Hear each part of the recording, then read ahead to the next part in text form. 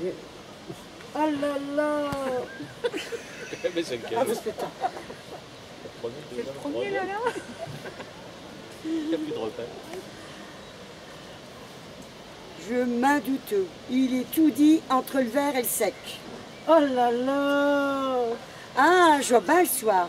Fini les galipettes médiévales. Ou ben, elle brouette avenoise. Il est sec comme une équette. Oh là là C'est l'insolence, c'est la femme vaudrue La Vaudrue. La femme du père Vaudru qui a des terres près de l'Elpe. Oui, c'est ça. Bon, c'est quand même drôle qu'il s'appelle Vaudru, comme le village de Vaudrechy. C'est peut-être la même lignée, non?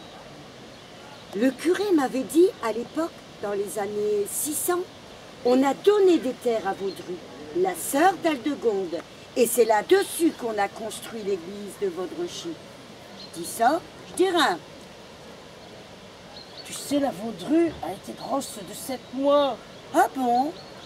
On dira, j'ai pas vu la différence. Bah, tu auras pu dire ça, les mourtes. Morte, mais comme quoi? Bah, mourte, un râteau. Elle avait une fièvre, je te dis pas.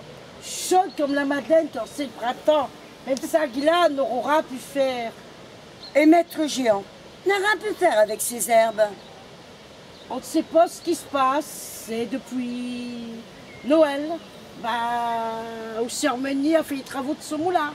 Certains disent que Maître Géant a perdu ses pouvoirs de guérisseur. Ah, pour un herboriste, on peut dire qu'il s'est planté. Faut pas rire de ces choses-là. Au moins, le bébé, il n'est pas mort. Une mère morte et n'a le bébé. Le père Vaudru aura quand même sa descendance. Merci.